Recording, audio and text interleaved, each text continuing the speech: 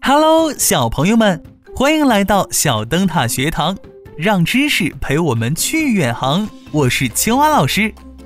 上一期我们看到，在春秋末期，大圣人孔夫子在各个国家游历，希望君主们能热爱和平，减少战争。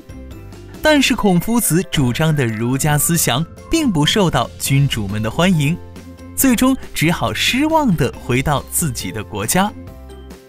同样，在春秋时期，也有一位夫子出使外国，并用自己的智慧回击了对方的羞辱。维护了自己国家的尊严，他就是晏婴，是齐国的大臣。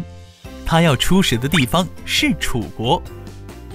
晏婴虽然身材不高，长得也不好看，但是他十分的聪明，能言善辩，世人尊称他为晏子。他已经辅助了三代齐王，经常为齐王提出建议，让国家更好的发展。在春秋时期，齐国、晋国和楚国都是当时数一数二的强大国家，而其余两个宋国、秦国一并称为春秋五霸。话说，当时因为齐国的齐景公觉得自己国家已经足够强大了，就开始贪图享乐，不管朝政，国力就开始一点点衰退。面对更强大的晋国派兵入侵时，齐景公才发现自己抵挡不住了，开始慌了，就想要联合楚国一起抗敌。于是他派了晏子作为使者去楚国。当时楚国的国君是楚灵王，他是一个自傲的人，性格暴躁，喜欢刁难人。他自认为自己把国家治理得非常好，让楚国的国力强盛。不惧怕最强大的晋国，所以他非常瞧不起不思进取、贪图享乐的齐国国王。当听到齐国要派使者来楚国之后，楚王就和大臣们商量要用什么办法来羞辱一下齐国的使者。而知道使者是晏子之后，大臣们就提出了一个方案。楚王听了很高兴，认为这一定能让晏子大出洋相。晏子从齐国都城骑马来到楚国，楚王已经提前知道身材矮小的晏子是使者，就特地让人在城门隔壁又开了一个小门，然后关上城门，请晏子从小门进去。楚国的将军出来迎接，晏子大人，我们大王得知您出使我国，特地让人开了这个新门，让你进入呢。晏子看到这个小门，停下马来，向迎接的将军问道：“只有出使狗国，才要从狗洞进去。我今天出使的是楚国，应该不是从这个门进去吧？”楚国将军十分尴尬，只好挥手让士兵把城门打开，迎接晏子进城。进到大殿上，楚王接见了晏子。楚王见矮小的晏子向自己行礼。就摇摇头问：“齐国恐怕是没有人了吧？”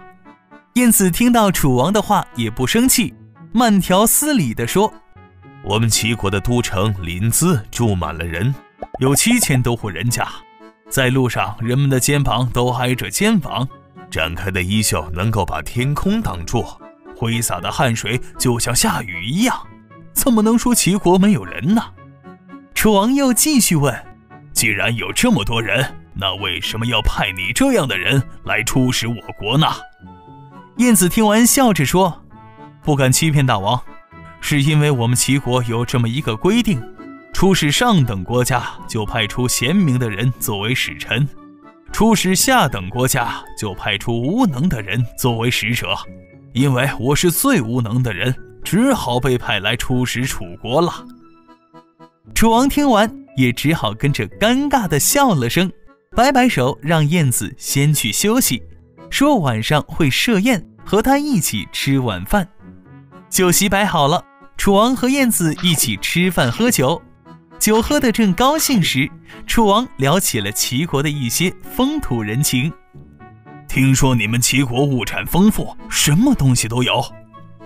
大王过奖了，只是我们齐王治理有方。等聊得差不多，楚王使了个眼色，让手下按照先前大臣们提出来的方案行事。这时，两个士兵押着一个人走进大殿，楚王就问：“这个人是哪里人？犯了什么罪？”士兵回答：“报告大王，这个人是齐国人，犯了盗窃罪，现在请大王发落。”楚王就看着燕子问道：“齐国不是物产丰富吗？治理有方，怎么还会有人偷东西呢？是因为齐国人生来就喜欢偷东西吗？”燕子离开了座位，站起来说道：“我听说这么一件事儿，在淮南又甜又大的柑橘，一旦被移植到淮北，就会变成又小又苦的汁。大王知道是为什么吗？”是因为两地的水土不同吧？是啊，齐国人在齐国安居乐业，可一到楚国就做起贼来了。也许的确是两地水土不同吧。晏子说完，其他楚国的大臣都十分生气，士兵们更是想要把刀抽出来杀掉侮辱自己国家的晏子。楚王哈哈大笑，挥手让大家不要生气，笑着对晏子说道。我本来是想要取笑先生，没想到反让先生见笑了。晏子伸手作揖，说道：“大王您谦让了，先生果然才智过人啊，是不能跟他开玩笑的人。我真是自讨没趣儿了。”哈哈哈。楚王举起酒杯向晏子敬酒，晏子看到也连忙举起了酒杯，还望先生不要见怪。来。干了！遵命，大王，请。从那以后，楚国和齐国成功结盟，晏子也顺利回到了齐国，受到了齐王的嘉奖，后来成为了一代名相。小朋友们，晏子是不是很厉害呢？他用自己的智慧回击了侮辱和刁难，捍卫了国家的尊严。我们也要像晏子一样，面对他人的嘲笑和刁难。不要怕，拿出我们的自信来应对，而且我们也要学会尊重，尊重他人就是尊重自己，可不能像楚王一样随便嘲笑别人，不然自己也会闹出笑话的。好了，听完了晏子使楚的故事，是不是觉得不够过瘾呢？没关系，下一期节目我们再来了解一下卧薪尝胆的故事，我们下期再见了。